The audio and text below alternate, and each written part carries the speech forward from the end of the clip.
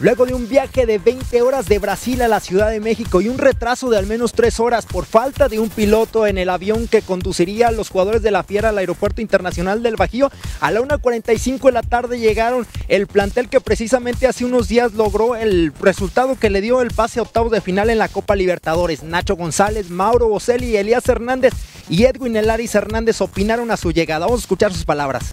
Realmente después de de, tanta eh, incógnita, de tantas preguntas de que si lo podíamos lograr o no.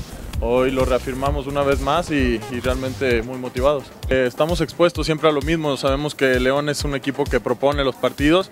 Eh, estar atentos atrás y, y meter las que tengamos. Sí, era importante porque nosotros teníamos que demostrar que quizá el traspié que tuvimos en casa con, Bolívar no, nos había hecho daño y, bueno, creo que lo quedó, quedó demostrado que hicimos un gran partido contra un rival que, allá te digo que no te la pone para nada Hay que olvidarse ya de la liga, y pensar en los octavos.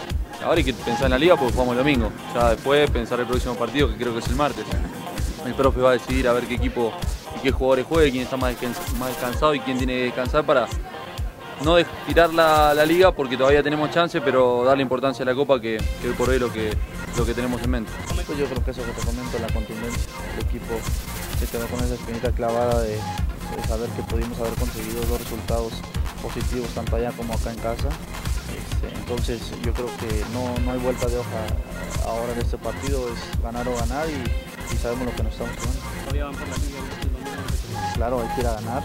Este, nosotros no estamos pensando en ver qué es lo que pasa, el equipo está muy consciente de que también eh, jugamos todo en este partido y tenemos que ir a, jugarnos el todo por el todo.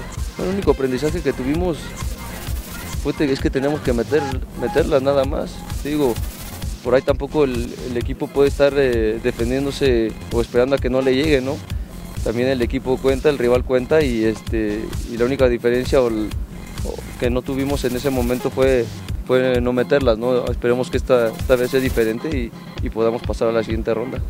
El único ausente a la llegada del equipo fue Gustavo Matosas. El estratega uruguayo pidió un permiso a la directiva para reunirse con su familia y no será hasta el domingo en el Nemesio 10 que se reencuentre con el equipo. Para m.com.mx, Francisco Horta.